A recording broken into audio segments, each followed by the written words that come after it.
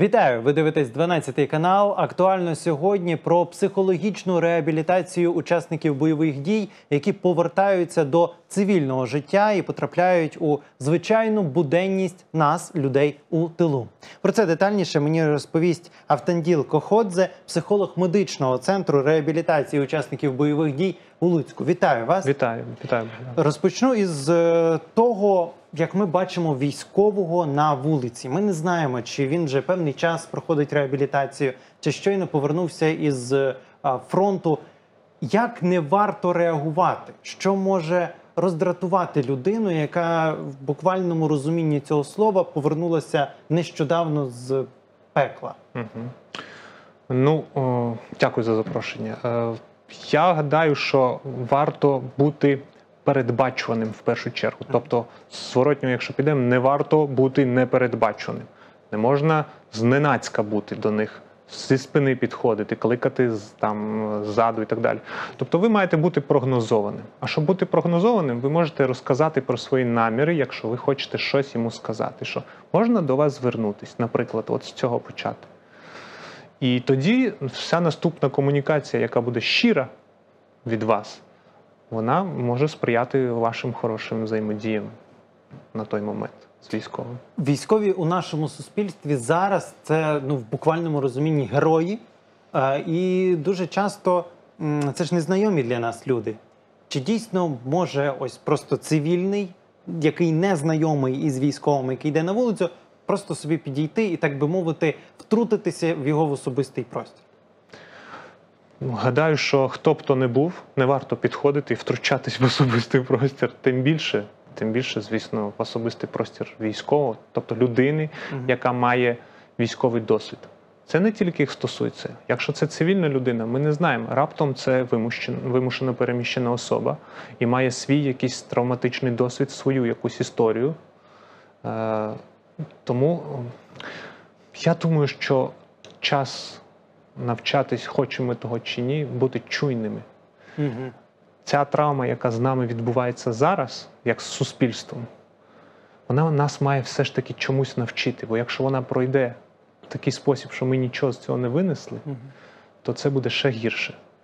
Я гадаю, що ми можемо винести з цього, хоча б щоб ну, ми були чуйними, знаєте, один до одного, незалежно хто це. Звісно, треба враховувати, що є люди, у яких є страшний досвід. Тобто, в першу чергу, ми запитуємо, чи можна щось, чи поговорити, чи запитати, чи будь-що інше. Так, дозвіл.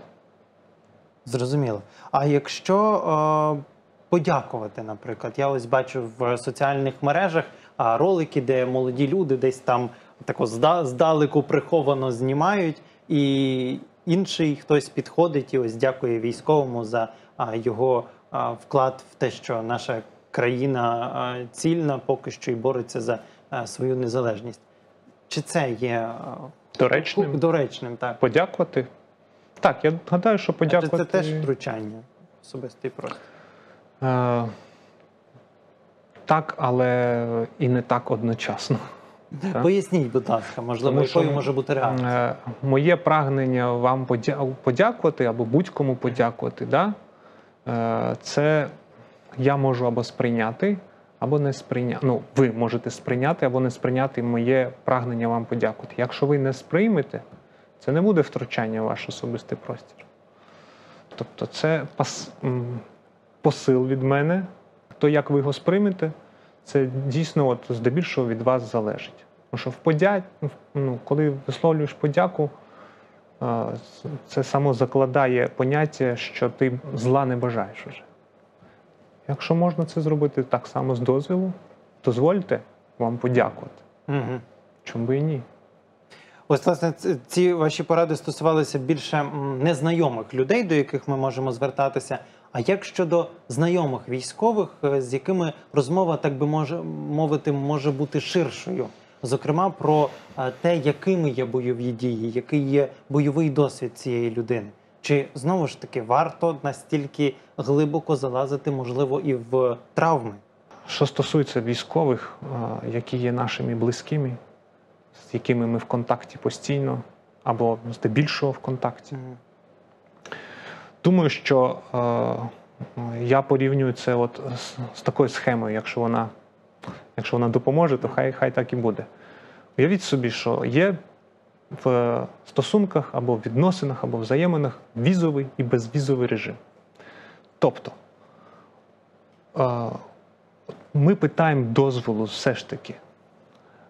Якщо у нас е, е, візовий режим, то ми кажемо: слухай, можна,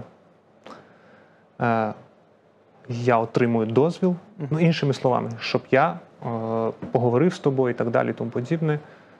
А у тебе до мене безвізовий режим. Ти завжди можеш розраховувати на мене, на мою підтримку, на моє мовчання, якщо це тобі треба, на те, щоб я тобі дав, надав простір, або навпаки розділив з тобою простір. Одним словом, ти можеш розраховувати на мене. Але я буду тебе питати, можна тебе там про це або про то поговорити. Без дозвілу я того не буду робити. Або поки сам ти не скажеш, слухай, давай поговоримо. Тому що іноді просто питання теж треба вміти ставити. Не можна питати, ну як там, наприклад, отак формулювати питання, ну як там, ну не можна. Власне, просто я розумію, що більшість людей так і роблять. Тобто, як там? Що там напередку? Чи щось подібне? Краще спочатку спитати: слухай, ми можемо про це поговорити? Якщо відповідь да, можемо, то можна вже собі дозволити там деякі питання. Тому що у вас є легітимізація того, що ви цю тему підняли. Якщо він, він, вона скаже, що я не хочу про це говорити, вона має право сказати, я не хочу з тобою про це говорити. Мгм. Людина має право сказати, я не хочу зараз з тобою про це говорити. На це не варто злитись. Мгм. Треба поставитись чуйно знову ж таки до цього. Інше питання, окрім е, ну що там, як там, е, це те, от коли закінчиться війна. Як військові на це реагують? Е, Чи можливо зверталися із запитом до вас з подібними питаннями? З тих, з ким я е, мав справу, зустрічався, е, я не чув, щоб хтось радів цьому питанню. Угу. Е, у деяких присутня розгубленість, деякі собі можуть е, прогнозувати, коли вона закінчиться. Але якщо ми ставимо їх в позицію, що ти знаєш, тому що ти до цієї справи дотичний, близький, і ти в неї крутишся в військовій справі, наприклад, ти маєш знати. Ну, це, це міф. Я не знаю, хто знає взагалі, коли це закінчиться. Це ніби від них вимагати чогось, чогось неможливого. А це може бути для них травматично, тому що там, в окопах, від них дійсно неможливо вимагається. Знаєте, їм того достатньо, що, що там вже є. Не треба їх тут в це поринувати знову. Мгм. І е, власне е, на початку нашої розмови я говорив про те, що от військові можуть приїжджати чи то на реабілітацію, чи то е, у відпустку в цивільні міста. Угу. Водночас іноді вони потрапляють ну просто в якийсь м, такий вир емоцій, занадто високий вир життя в буденності. Чи нормально вони на це реагують? Тому що я знаю декілька прикладів, коли е, військові були у відпустці, побували десь у центрі міста, де є і музика, і якісь і розваги, і щось подібне. І вони сказали: я більше туди не піду. Це їх травмує. Я правильно розумію? Це може їх травмувати. І те, що ви кажете, е, використовуєте слово нормально, ненормально, в цьому нам теж варто було би розібратись. Угу. Тому що якщо у нас з вами одинакове уявлення нормальності реакції, то так, але варто було би з'ясувати. Насправді, е, симптоми психотравми це, ну от давайте так, нормальна реакція на ненормальні обставини. Тому що психіка не звикла до таких екстремальних умов.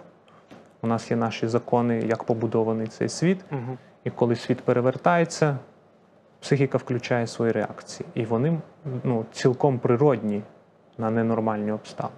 Тому, якщо він буде злитись, попавши в цей кураж життя, умовно кажучи, це нормальна реакція. Угу. Якщо він не буде на це злитись і приєднається, це теж може бути природна реакція. Якщо ви питаєте, чи переважно їх це злить, я гадаю, що переважно їх це злить. Але є певна кількість, які до цього ставляться абсолютно нейтрально. є певна кількість, які приєднуються до цього. І вони починають, е, починають компенсовувати те, що вони втратили, або те, що вони можуть не здобути через те, що вони можуть повертатись. Вони починають тринкати грошима, тому що треба швиденько набутись, пожити, мені все одно повертатись. Я не знаю, чи я повернусь звідти. Тому давай-ка я тут і потанцюю, і в паб піду, і дорогі собі парфюми куплю, і, і одяг, і проведу час, одним словом. Ну, Але чи не означає це те, що е, цивільним, як ви висловилися, бути в куражі життя потрібно трохи менше і розуміти, що е, є військові серед нас, є військові, які буквально зараз захищають е, нашу країну, і навіть і в моральному плані, напевно, їх потрібно підтримувати. Їх Попри те, що ми ось, потрібно ось тут. їх 100% потрібно підтримувати. Е, я не можу собі дозволити е, сказати, як суспільству потрібно поводитись. Тобто, у мене немає такого морального права. Е, я можу сказати, що людина, яка поводиться тим чи іншим чином, не, не відмовляє собі в якихось радощах життєвих. Мгм. Е, Ну, як, якщо вона зіткнеться з військовим, то це її відповідальність, як уже комунікувати далі. Та? Тому що ми не знаємо, той, хто, е, той, хто не відмовляє собі в радощах життя, ми не знаємо насправді ця людина, що робить. Може, вона теж щось робить корисне і чудове. Те, що Мгм. це військовим кидається в очі, однозначно. Може, було би і варто зменшити е, якісь. Е, якісь свята, а може і навпаки. Я, я не можу цього сказати, таку на себе брати відповідальність. Але з вашого досвіду я зрозумів, що все ж таки, якщо це може травмувати, навіть якщо окремих військових, то варто трошки кураж життя притушити. Я це так зрозумів, принаймні з нашої розмови. Інше питання це те, що деякі цивільні люди, які знаходяться в мирних містах, дозволяють собі постійно говорити про те, що, що вони втомились від війни, і висловлювати це навіть військовим, які буквально щойно повернулися з фронту. Це так само, я думаю, е, хвилює чи може нервувати е, Я гадаю, Богдане, військових що... людей. Дякую. Я гадаю, що в мене таке відчуття, що у вас на всі ваші питання у самого є відповідь, бо так якось так ну, відчувається, що ви самі розумієте, що, що варто, що не варто. Тому що ви людина, у вас є ваші моральні принципи, е, ваші, ваш світогляд, які близькі там до, е, до якихось враховувань іншої людини, наприклад, Мгм. до якихось таких цінностей. Да? Враховування того, що людині може бути зле, погано, і це, з цим треба відповідно е, там, обходитись. Ну тут це знову про чуйність, знаєте. Угу. От як ви би самі, як ви вчинили? От скажіть мені. Е, Якби мені сказали щось подібне, я думаю, що це було би до обговорення і швидше до якоїсь розмови довшої, тому що я вважаю, що цивільні не мають права собі такого говорити, тим більше військовому. Як військові все ж таки реагують на подібні історії? Тому що ну, з тими, що я спілкувався, їх, їх це шокує. Вони не очікують зазвичай того, що е, цивільний, ще раз повторюся, але в мирному місті буде їм говорити про те, що втомився від війни. Е, Ви знаєте, я переважно, мабуть, не знаю, може, мені везе. Я переважно е, з такими мав справу, що які, знаєте, не те, щоб вони надають перевагу не поглиблюватись в це, не, не, не навчати людину Угу. Е, що і так. І їм не до цього, чесно, знаєте. Мгм. От ти втомився, ну втомився і втомився. Може, хтось і скаже, і злиться, що, е, що ти втомився, ти не знаєш, що там у нас, наприклад, відбувалося. Але якісь такі люди, знаєте, теж свідомі, може так сказати, які ну, просто не, не лізуть в це. Так, звісно, це їх може злити, е, і агресія взагалі наростає. Агресія наростає, від цього нікуди не дінемось. Е, Справа в тому, що ми маємо бути налаштовані так, щоб ця агресія у них знаходила канали виходу, які не будуть деструктивними для них самих і для нас, суспільства. Тому що з злістю щось треба робити, вона сама не розмовчиться. Або вона на- скеровується назовні, або вона скеровується всередину. Та? Тобто ми стаємо, у нас деструктивна, автодеструктивна поведінка починається, з- погані звички і так далі. Тому якщо, якщо ми будемо елементарно чуйними, не, не будемо звертатись до них так, як не хотіли б, щоб до нас хтось звертався, то я думаю, що ми виліземо з цього. Зрозуміло. Е, Далі безпосередньо дозвольте розпитати про е, вашу роботу як е, психолога. До вас в реабілітаційний центр постійно звертаються військові, учасники бойових дій, яким потрібна психологічна підтримка, допомога. Наскільки це великий потік людей зараз? Чи збільшився він? І чи це йдеться лише про людей, які повернулися вже на постійно, так тобто вже тут на реабілітації, можливо, навіть і не повернуться до бойових дій, чи і ті, хто в відпустці, теж іноді мають бажання прийти і поспілкуватися зі спеціалістом? І ті, і ті. І ті, хто е, повернувся і далі не буде брати участь у бойових діях, і ті, хто повернувся на певний час і, і знають, що будуть повертатись на фронт. Є і ті, які повернулись і не знають, будуть вони повертатись на фронт чи не будуть. Це ще одна категорія. Серед них є знову ж таки ті, хто хочуть і хто не хочуть, наприклад. Є ті, хто не можуть, але хочуть. Є ті, хто можуть, але не хочуть. Ну, а... ну як можуть? Коли я кажу можуть, ну, фізично. Морально це зовсім морально-психологічно це от якраз той пласт, в якому ми що ми і обговорюємо. Е, до кожної з категорій треба окремо. Окремий знаходити підхід, тому що це окремі кон... окремі прийняття реальностей, різних реальностей і перспектив. Так? Чи дозволяє робота з психологом тут на місці швидше адаптуватися до а, цивільного життя і про те все, що ми з вами говорили раніше? дозволяє. Е, є такі, до речі, яким, е, ну як вам сказати, які знаходять в собі достатню кількість ресурсів внутрішніх і зовнішніх, що їм не потрібна дійсно така послуга, е, як е, робота з психотравмою, оскільки вони якби самі здатні були здолати ці травмуючі обставини. Тобто морально сильні люди. Ну, я би не сказав, що морально слабкі ті, хто е, не може самостійно долати. Я е, не, про- про це не можу сказати. Е, скоріш за все, знаєте, Богдане, багато факторів, які впливають на е, навички долання травмуючих обставин. Вплоть до того, як вас виховували в дитинстві, може вплинути на те, як ви будете в дорослому житті долати важкі ситуації. Який у вас попередній досвід долання попередніх ну, життєвих важких ситуацій. Хто у вас навколо? Чи є у вас функція зайнятість? Ну, дуже, дуже багато сприятливих і несприятливих факторів. Тому ті, хто сам здолав, ну просто ну, у них були ті ресурси, скажімо так, які їм допомогли самостійно це зробити. Нічого нема поганого в тому, щоб ці ресурси знаходити, назовні і їх використовувати. Це теж якби внутрішній навичок, який дозволяє тобі використовувати зовнішні ресурси. Мгм. Тому от е, є і ті, і ті, і ті і різні. Зрозуміло. Є і, напевно, та категорія людей, які відмовляються йти до психолога, попри те, що можливо якась консультація їм була би і доречна.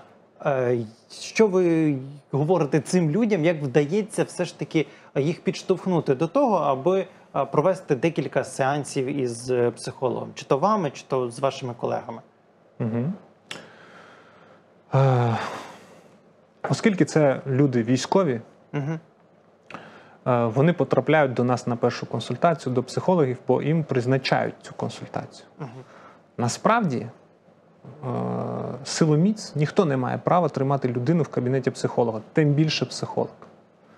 Тож я починаю з подяки. Я кажу, дякую, що ви прийшли. Насправді, от Угу. така то історія. Я вас не можу тут силоміць тримати.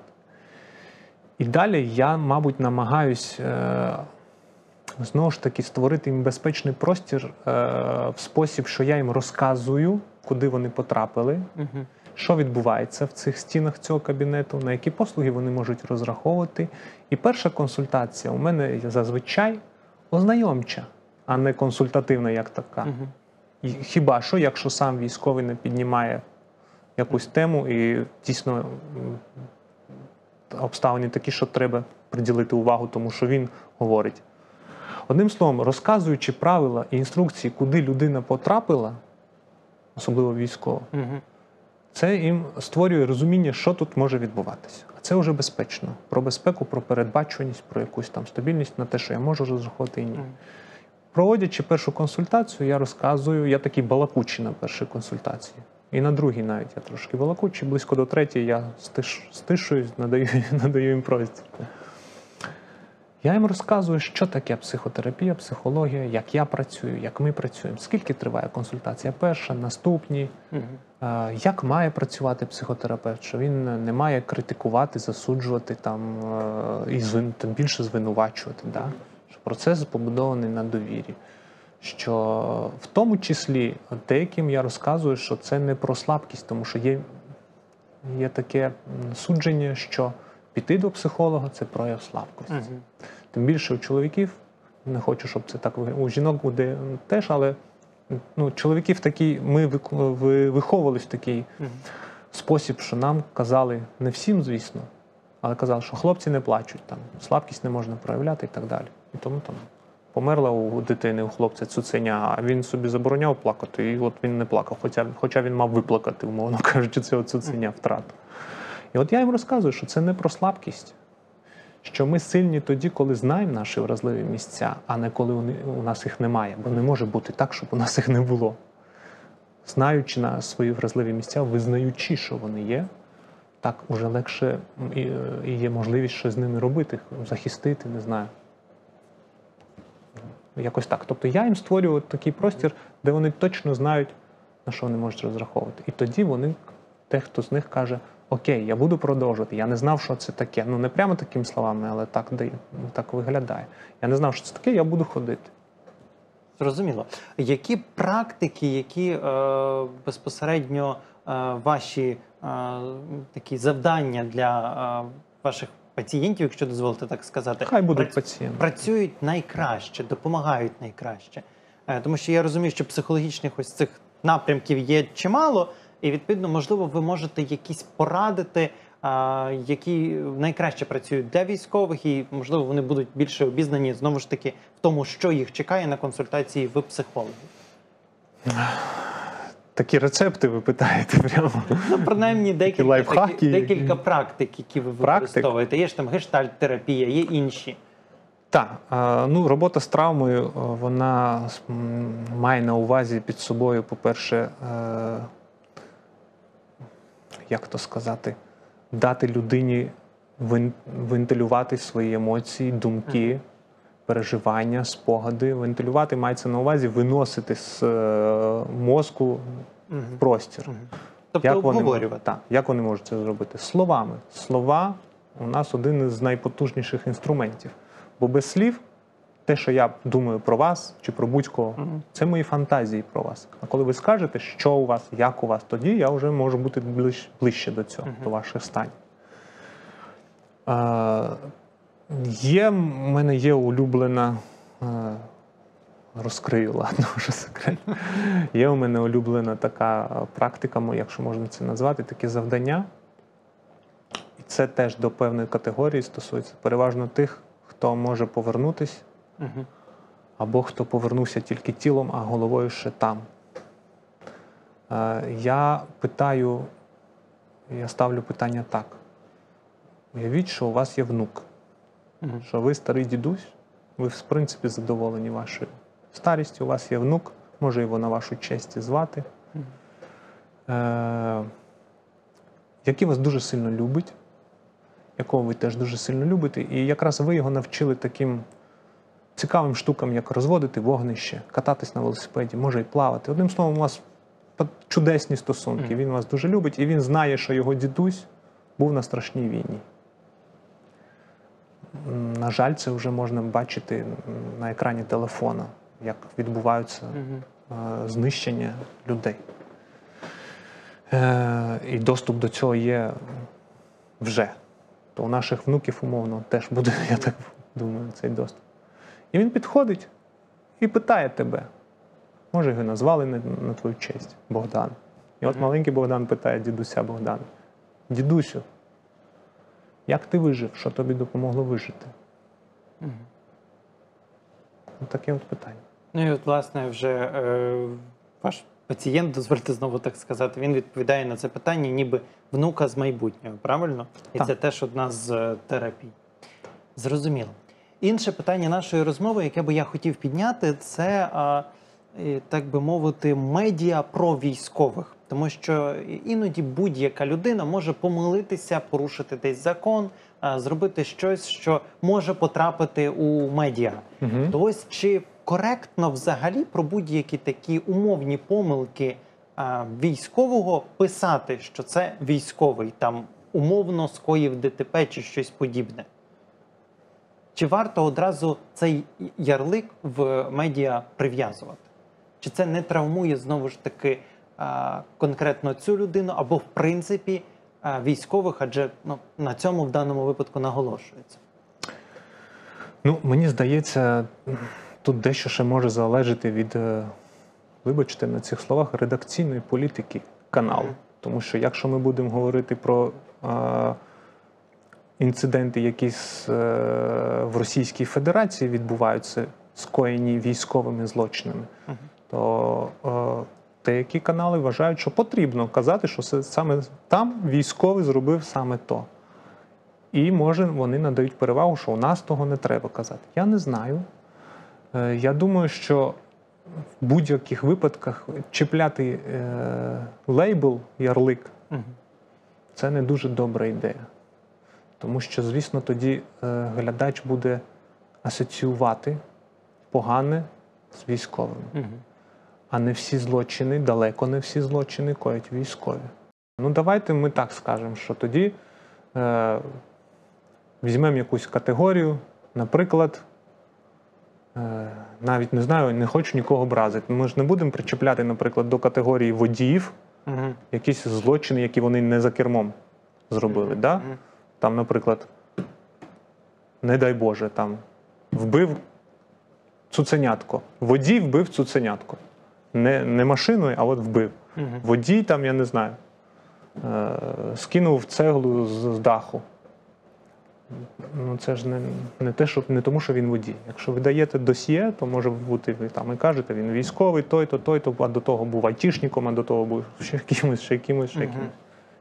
Ну, однозначно не треба лейбли чіпляти. Зрозуміло. Ну і е, на сам кінець е, якась е, така від вас порада про те, як можна кожному з нас при спілкуванні з військовим його розрядити і трішки відволікти від всього того страшного, що він міг бачити. Як би ми не хотіли цього, як би ми не співпереживали, з ними ми не можемо бути, ми не можемо навіть уявити. Тому що кожна людина по-своєму переживає своє. Е,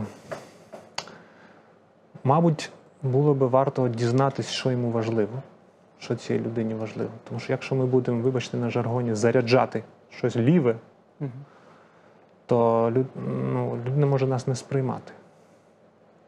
Е, був такий випадок, коли повернувся військовий, а його ком питає: мені в зелений колір фарбувати паркан чи в коричневий? Ну, військовому не цікаво, в який колір, умовно кажучи, сусід чи кум буде фарбувати паркан. У нього голова не цим зайнята. Тому треба, мабуть, дізнатися, що для нього важливо. Мгм. І якщо йому хочеться про це поговорити, хай навіть це не буде його відвлікати, а буде про те, що про його переживання, про його досвід, якщо це його буде вентилювати, і ми зможемо правильно розділити цей простір разом з ним, не критикуючи, не оцінюючи, не засуджуючи, то може йому це буде корисніше. А може він скаже: слухай, пішли в більярд пограємо. Мгм. То пішли пограємо в більярд. Або пофарбуємо паркан. Або пофарбуємо паркан. Я дякую вам за нашу розмову. Сподіваюся, що а, усі наші глядачі зможуть взяти якусь практичну пораду із е, цього. Ну і звісно, військові будуть знати, що можна звернутися до центру реабілітації у Луцьку і відповідно отримати консультацію і психолога за допомогою різних практик. Дякую. Дякую вам, Богдан. Дякую. Дякую і вам, глядачі, що залишалися з нами протягом цього часу. Якщо маєте ще додаткові запитання щодо реабілітації військових у психолога, пишіть їх у коментарях до цього відео в соціальних мережах 12 каналу. І, звичайно, до зустрічі. Бережіть себе і будьте щасливі!